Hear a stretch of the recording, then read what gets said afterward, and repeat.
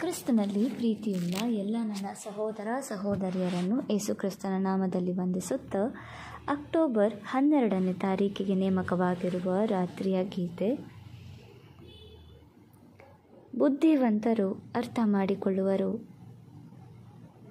ಹಳೆ ಒಡಂಬಡಿಕೆಗಳಲ್ಲಿ ದಾನಿಯೇಲನ ಪ್ರವಾದನ ಗ್ರಂಥ ಹನ್ನೆರಡನೇ ಅಧ್ಯಾಯ ಹತ್ತನೇ ವಚನ. ಅತಿ ಪ್ರಿಯರೇ, ಅದ್ಭುತವಾದ ವಿಷಯಗಳನ್ನು ಆನಂದಿಸಲು ನಮಗೆ ಅನುಮತಿಸಲಾಗಿದೆ. ದೇವರ ಕೃಪೆಯಿಂದ ನಮಗೆ ಮಾತ್ರವಲ್ಲದೆ ನಮ್ಮ ಪಿತೃಗಳಿಗೂ ಒಮ್ಮೆ ರಹಸ್ಯವಾಗಿದ್ದ ವಿಷಯಗಳ ಅರ್ಥಗಳನ್ನು ನೋಡುವ ಭಾಗ್ಯವನ್ನು ಈಗ ನಾವು ಹೊಂದಿದ್ದೇವೆ.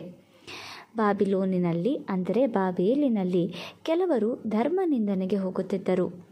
ಅದೇ ಬ್ಯಾಬಿಲೋನಿನಿಂದ ಬೇರೆ ಕೆಲವರು ಆತ್ಮೀಕವಾಗಿ ಬಲಶಾಲಿಗಳಾಗಿ ತೆರೆಯೊಳಗೆ ನಿರೀಕ್ಷೆಯಿಂದ ಪ್ರವೇಶಿಸುತ್ತಿದ್ದಾರೆ.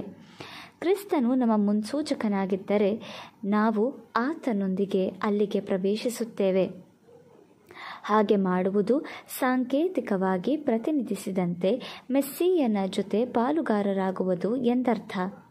ನಿಜವಾದ ಸಭೆಯು ಕ್ರಿಸ್ತನೊಂದಿಗೆ ಆತನ ರಾಜ್ಯದಲ್ಲಿ ಪಾಲು ಹೊಂದುವರು ಆಗ ಭೂಮಿಯ ಎಲ್ಲ ಸಂತತಿಗಳಿಗೆ ವಾಗ್ದಾನ ಮಾಡಲ್ಪಟ್ಟ ಆಶೀರ್ವಾದಗಳು ಬರುವವು. ಯುಗಗಳ ದೈವಿಕ ಯೋಜನೆಯ ಸ್ಥಿರತೆಯನ್ನು ನಾವು ಗ್ರಹಿಸಿದಂತೆಲ್ಲ ನಮ್ಮ ಹೃದಯಗಳು ದೇವರಿಗೆ ಕೃತಜ್ಞತೆಯಿಂದ ತುಂಬಿರುತ್ತವೆ.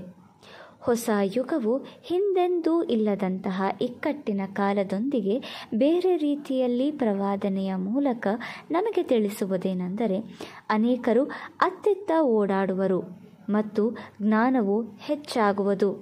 ಅಂದರೆ ಇಕ್ಕಟ್ಟಿನ ಕಾಲವಿರುತ್ತದೆ.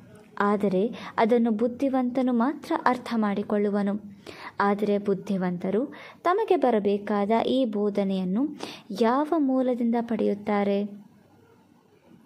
ಅವರು ಉನ್ನತದಿಂದ ಬರುವ ಜ್ಞಾನದ ಪ್ರಕಾರವೇ ಅರ್ಥ ಮಾಡಿಕೊಳ್ಳುತ್ತಾರೆ ದೀನತೆಯಿಂದ ದೈವಿಕ ವಾಕ್ಯವನ್ನು ಸ್ವೀಕರಿಸುತ್ತಾರೆ ಮತ್ತು ಹಾಗೆ ಮಾಡುವುದರಿಂದ ಆಶೀರ್ವದಿಸಲ್ಪಡುತ್ತಾರೆ